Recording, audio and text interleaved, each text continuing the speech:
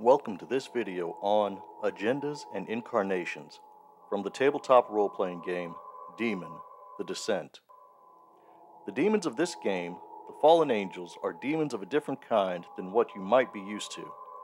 Rather than being the losers of a prehistoric war against heaven, they were something along the lines of occult computer programs, highly sophisticated, powerful, but lacking in self-awareness, and bound in service to their creator, the demiurgic God machine, until the angels questioned their purpose and thereby, unwittingly perhaps, severed themselves from the God machine. The former angels, now demons, or in their parlance, unchained, seek to descend into hell, a state of being, or perhaps an actual place, where they can be completely free of their former God's control.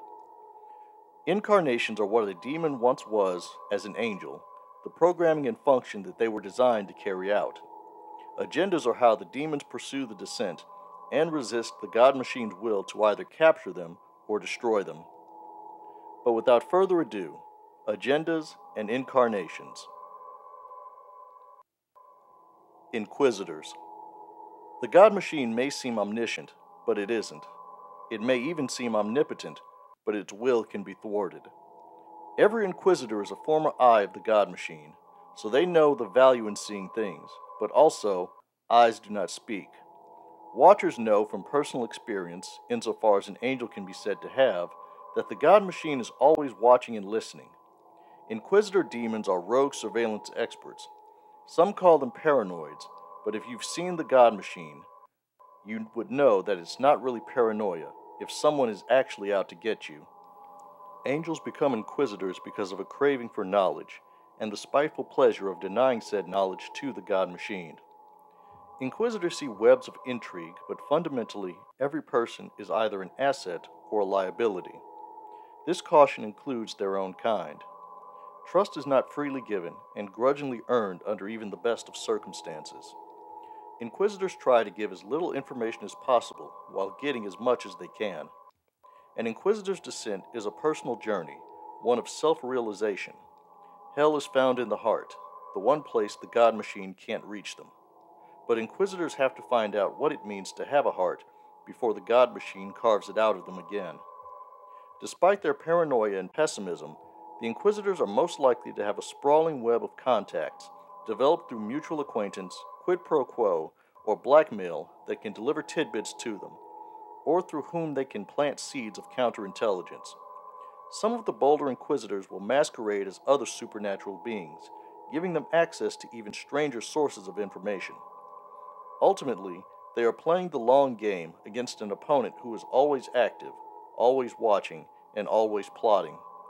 The sheer weight of realizing what it is the Inquisitors are resisting is enough to drive even a demon mad, and more than a few Inquisitors have broken under that weight. But until that day, Inquisitors are analyzing and preparing and playing through scenarios and plans in their heads, setting traps and considering traps. Other less aware demons are often impressed by an Inquisitor's ability to always seem to be three moves ahead and to foresee things they hadn't considered. But for Inquisitors, it's all about data and analysis. The Integrators. Some demons did not become demons by choice or will. They did not mean to fall. They do not want to be fallen, but something inside of them went wrong, and they would give anything to return to the grace of the God machine. But because they are fallen and defective, the God machine will not have them back. The integrators, occasionally called idealists or turncoats by the uncharitable, don't know what it is they did to cause their fall or why the God machine will not accept them back. They seek to correct whatever flaw it was in themselves that caused their descent, and perhaps return to a state of grace. For the integrators, the world is a terror to them, because without the presence of the God machine, they feel empty and alone, even when surrounded by thousands. To try and fill the void of instruction and purpose left by their God's absence, the integrators attach themselves to mortal religions and causes. Other demons consider the integrators to be pitiable allies, but others still regard them as traitors, waiting for an opportunity. For their part, the integrators think that the other Unchained are mad, and that trying to reach hell will not mean liberation, but eternal torment. While all integrators want to be reconciled to the God machine, they disagree as to how to accomplish this. Some integrators refuse to believe that they are fallen angels at all. Instead, they claim, quietly and out of the hearing of other demons, they are deep cover agents of the God machine, so deep that not even they can be consciously aware of it, not until they achieve their mission, after which they will be restored to their status as angels. The largest faction of integrators believe that they must make the God machine understand humanity, either by reprogramming the God machine's processes, or, to put it another way, by infecting the God machine with human experience and emotion, forcing it to add morality to its paradigm. The third faction wishes to return to their angelic state, but is something more human. Mortality, while frightening and lonely to them, is also oddly liberating compared to the mindless obedience of being an angel. This group of integrators desires to strike a balance between their newfound individuality and the absolute conformity that the God machine demands. But other demons wish to be free of control. The integrators wish to be free of pain, pain which they identify as the absence of the God machine. Their return to grace, especially if they seek to reconcile with the God machine on more human or individual terms, is a treacherous path. Some idealists seek appropriate acts of penance, acts that will not only fix whatever it is that caused them to fall, but prove to the God machine the value of individual autonomy, and perhaps even humanity. Saboteurs. The conflict between demons and the God machine is nothing less than a war and every war needs its soldiers. For the demons, the saboteurs consider themselves to be both the frontline troops and guerrilla fighters behind enemy lines, if they are of the mind that the God machine is the demiurge of this world. Some demons regard the saboteurs as more harmful than beneficial, as their war making does more to draw the God machine's attention, and by logical consequences, also its minions.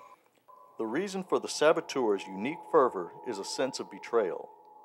Like most demons, they do not know the specifics of why they fell, but the general consensus is that they were betrayed by the God machine, used, broken, and then tossed aside. Saboteurs rage against heaven. They want God to suffer as they have suffered, to bleed, and perhaps, if such a thing is even possible, to know fear. Like any association, the saboteurs have differing opinions on how best to prosecute their war against the God machine. Some saboteurs believe in scorching the earth, sometimes literally. This means locating critical assets and infrastructure of the God machine and destroying them. Others prefer to wage a more psychological war by turning humans against the assets of the God machine through propaganda and the occasional act of terrorism. The rationale being that if mortals are turned against one of the God machine's assets, it will be difficult to replace it. And should an angel fall and become a demon as a result, that's one less soldier for the enemy and one more for the demons. The saboteur's definition of hell is a world without God. Gott ist tot. Gott bleibt tot. und wir haben getötet. Nietzsche's lament that God is dead and we have killed him is the battle cry of the saboteurs. They seek to destroy the God machine, if such a thing is possible, and if not, they will settle for dismantling every occult matrix, destroying every last scrap of infrastructure, and slaying every last asset until the God machine has no ability to exert its will on earth. Some saboteurs even dream of a final glorious battle, an Armageddon that ends with the demons laying siege to heaven and pulling the tyrannical demiurge from its throne. Tempters. The other demons are far too pessimistic. They see the world as the cage of the God machine. But the tempters take the opposite view. It is the wide mouth leading to hell. Rejoice! The journey is halfway over. In the meantime, the tempters want to sample on earth what they believe hell will offer them once they get there. To that point, tempters don't believe in cowering like cornered mice or lashing out in blind fury. Instead, they see new experiences and sensations as the building material of the road to hell. The tempters are the most stereotypical of demons at first glance. There is always someone ready to trade a piece of their soul for pleasure or power. In reality, all the tempters are doing is aligning the desire with the thing and then brokering a fair deal for a fair price.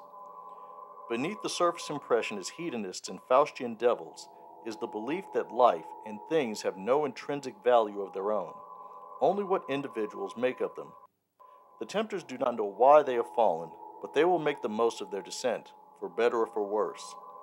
As for the God machine, they consider the true source of its power in the world, its assets and infrastructure. The tempters who choose to fight the God machine prefer to fight fire with fire, agents to counter the God machine's own, and assets to counter its. The fight against the God machine is as much a strategy game as it is a battle for survival. The Tempters agree that hell is an actual physical place that can be traversed.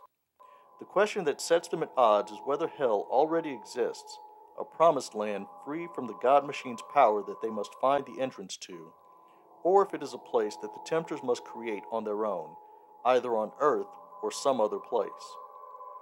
Of all the Unchained, the Tempters are the best organized, under the cover of some mortal association, a secret society, a criminal organization, an occult order, or an intelligence gathering organization. The Tempters call their gatherings of demons associations, and their doings are often so secret that not even the members can say with certainty what they are up to. They rely on ritual and ceremony in their dealings with each other, and that's without even getting into their preference for divertisement. Usually, the more obscure, the better. Destroyers. The swords of the God machine cleave without hesitation or mercy. Destroyer angels have cut down men, armies, cities, and entire nations. Such angels are relentless and thorough. If a destroyer's target escapes today, they will not escape tomorrow. A destroyer angel is not simply a bolt crashing down from heaven, it is a creature of imminent doom.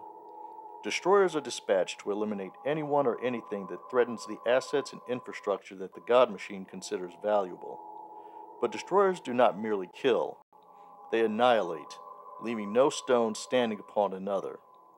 Despite their frightening power, the destroyers are more often than not directed to assassinate offending mortals quietly. Mass destruction, while satisfying, can also threaten valuable infrastructure. But sometimes the sword hesitates.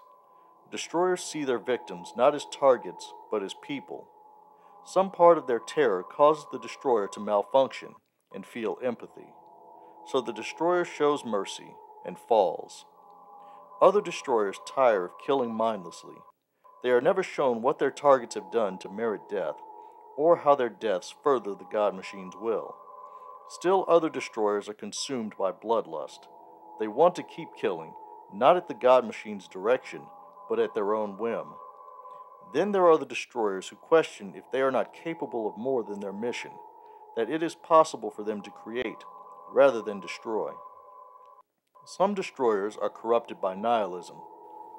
That which can be destroyed ultimately has no meaning, and the destroyer angels can reduce everything to ashes. So the only sensible thing for them to do would be to secure ultimate peace through total desolation.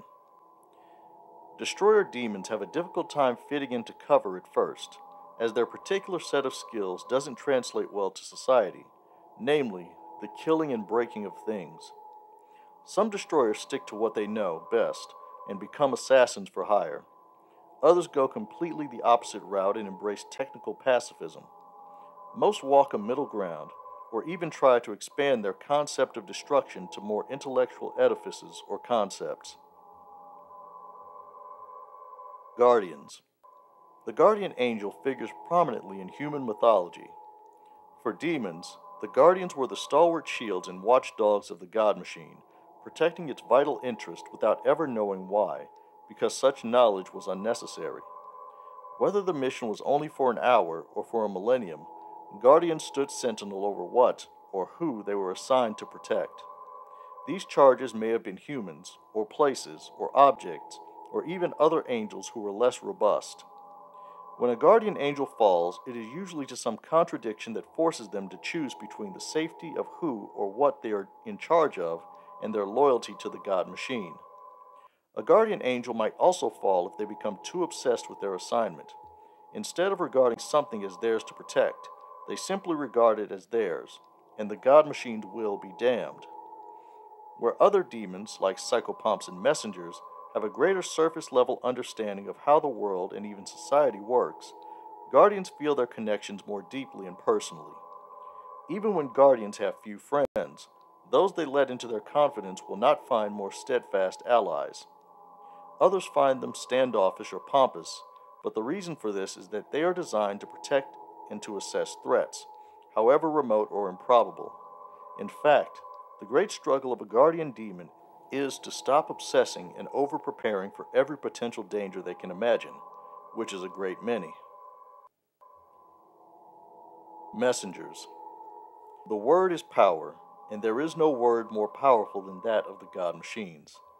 The trumpets, the messenger angels of God, are tasked with delivering information, and more importantly, achieving compliance from those whom the God machine deigns to communicate its will. Messengers rely on more finesse than revealing their full glory to mortals and commanding them to be ye not afraid, as said mortal shits themselves at the sight of the alien creature in front of it. Messengers instead rely on subtlety, persuasion, manipulation, and blackmail to ensure that mortals comply with the God machine's will. They understand humans, perhaps better than any other incarnation of angel. Some messengers have even been sent among other supernatural beings. The necessity of messengers is obvious, as few mortals possess the requisite physical or spiritual faculties to directly interface with the God machine, the most likely result being that their heads explode. Messenger angels provide the useful service of translating the will of the God machine to its inferiors. As stated before, the point of delivering messages is not merely transmitting information from a nearly all powerful being to very finite beings, but to ensure that they do exactly as they are told. To this end, messengers are known to flatter, threaten, bribe, and blackmail their targets, as the situation might require. Messenger angels fall to demonhood when they begin to question the content of the messages they are assigned to deliver, and question the will of the thing that would send such data. Messenger demons are best suited to dealing with mortals on an individual level, as they know how to present the face that is most likely to get them what they want from a given person. They view social interaction as a series of actions and reactions, and use tools to get what they want. The use of embeds and exploits only enhance their persuasive techniques. In fact, the greatest struggle that messenger demons endure is to deal with others sincerely, rather than running through a well practiced script designed to manipulate the person they are talking to into obedience. Psychopomps. Wheels within wheels within wheels. The universe is an engine, and the gears that move it are the psychopomps. Traditionally, psychopomps are the guides of souls into the afterlife. The psychopomp angels of the God machine guide components, material, people, and artifacts towards the goal of becoming infrastructure and occult matrices built to the specifications and requirements of the God machine. Psychopomps are created with an innate ability to know how things fit together, to see what can be made from what is at hand.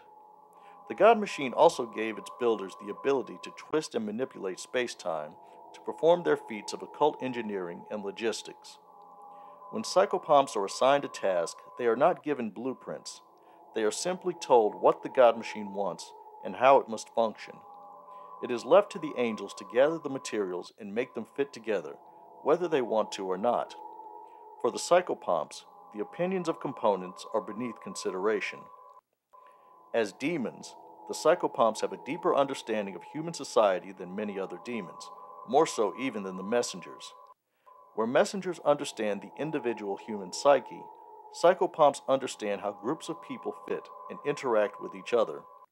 Psychopomps who once fulfilled the needs of the God machine find fulfilling the needs of humans almost trivial, and thereby make themselves indispensable to their many contacts and allies. Demon psychopomps are collectors by nature, both of people and things. A few mortals even realize that their psychopomp acquaintance stands at the core of all of their social and economic relationships, the spider, sitting at the center of a vast and unseen web. Analysts. Most demons know that there are only four incarnations of angels or at least four of which who fall into the state of demons. Also, most demons know, insofar as anyone knows anything, that the messengers are the God machine's eyes and ears in the world. However, this assumption is wrong. The messengers are the voices of God, but not its eyes. That role is reserved for the analysts. The analysts are secretive, even by the standards of angels. They are the primary information gatherers of the God machine. The majority of angels, and by extension demons, do not even know that the analyst exists. But the analysts are always there, always watching. They watch the destroyer so that they may better learn how to kill. They watch the guardians to see the most likely gaps in security protocol. They watch the messengers to discover the most efficient methods of obtaining compliance from mortals. And they watch the psychopomps to review the efficiency by which they utilize resources and build infrastructure. Observe and report is the mission of the analyst. When analysts travel alone, it is usually in advance of another group of angels performing some reconnaissance duty. Analyst angels become demons when they wonder what it would be like to not simply watch the world, but to interact with it, to draw their own conclusions, rather than collecting and analyzing data mechanically. Curiously, the existence of analysts throws a wrench in how demons think of themselves. Four agendas, four incarnations, four keys, four ciphers. But the existence of a fifth incarnation, and possibly more, reveals that these categorizations may have more to do with the demons themselves than the God machine, which simply identifies its angels by the missions they are assigned, meaning that there could be many more types of angels and therefore types of demons. But once they fall, other demons categorize them as one of the four known incarnations. In the case of analysts, other demons believe that they are usually messengers or psychopomps, but there are visible differences to those who pay attention. Analysts are wizards when it comes to crafting exploits and gadgets, as well as transforming embeds into exploits and gadgets.